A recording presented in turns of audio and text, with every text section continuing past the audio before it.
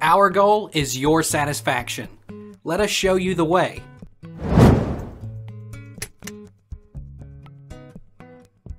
What is permanent address? Permanent address is the legal address of an individual where she, he is a registered resident with his, her name.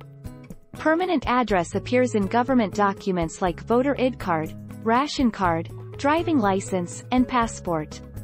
Many people, who stay away from home, use their parents' house as their permanent address.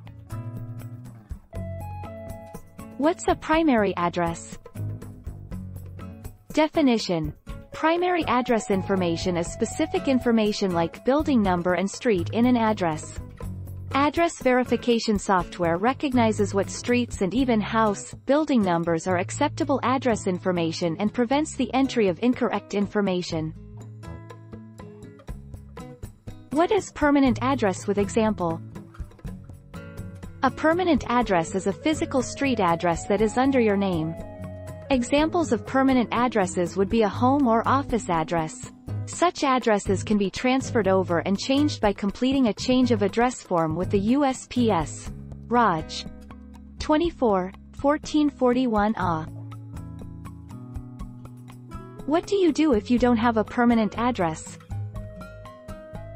If you do not have any permanent address then you can furnish the current address itself in the permanent address column. You should be available in the address provided while the police visits for verification. How is address verification done? Background checks. Address verification. Residential address verification is done through a physical site visit or database check.